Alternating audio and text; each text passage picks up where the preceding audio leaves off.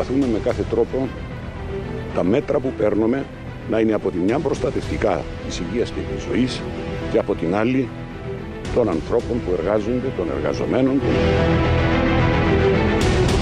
Ο μεγαλύτερος δυνατός αριθμός να αποφασίσει ότι η μόνη προστασία μας είναι ο εμβολιασμός.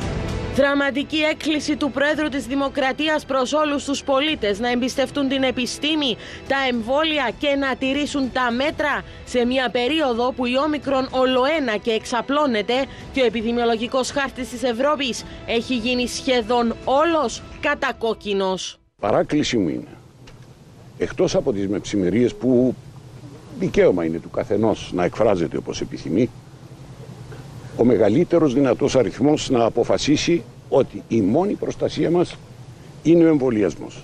Η μόνη προστασία από την πανδημία, ένα φαινόμενο που λαμβάνει νέες διαστάσεις παγκόσμια, είναι η επιστήμη. Ενώ απευθύνθηκε σε όσους ακόμη αρνούνται το εμβόλιο. Όσοι αρνούνται την επιστήμη δεν αρνούνται απλά την ευχέρεια που τους δίδεται και την ευκαιρία που έχουν να μην νοσήσουν να μην μεταδώσουν, να μην χάσουν δικούς τους ανθρώπους, αλλά η ατομική πρέπει πλέον να μετατραπεί σε ευρύτερη ευθύνη, κοινωνική ευθύνη προς όφελος του σύνολου.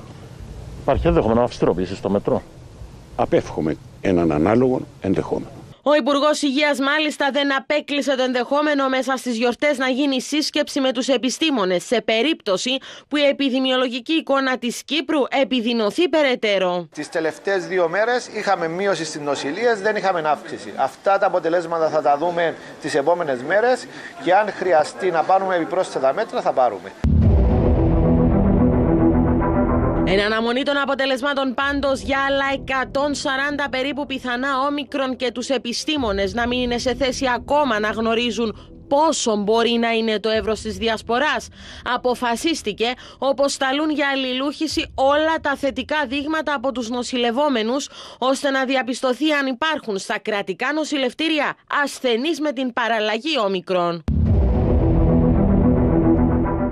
Η μονάδα εντατική του νοσοκομείου Λευκοσίας αγγίζει το κόκκινο αφού νοσηλεύονται πέραν των 55 ασθενών και οι διαθέσιμες κλίνες φτάνουν τις 65. Οι εισαγωγές μάλιστα στα κρατικά νοσηλευτήρια μπορεί να φτάσουν τις 30 ημερησίως, ενώ τα εξιτήρια είναι λιγότερα.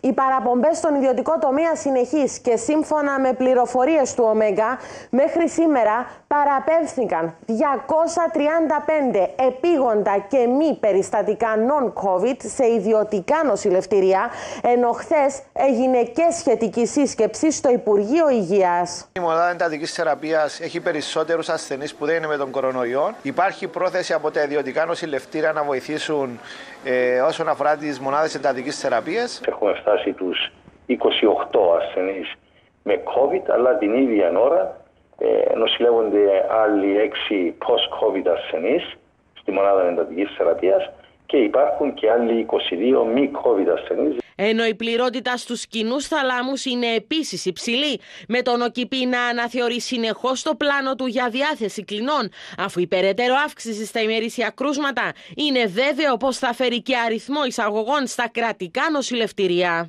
Στη Νέα Πτέρυγα φιλοξενεί